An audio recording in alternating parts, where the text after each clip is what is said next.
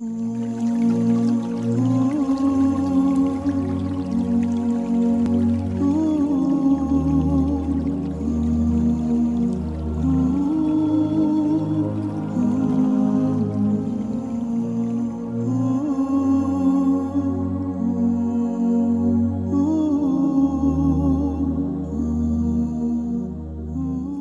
keeps in order his affairs with Allah, Allah will also put his affairs with men in order.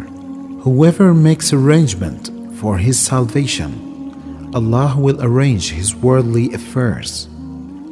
Whoever is a preacher for himself, Allah will also protect him.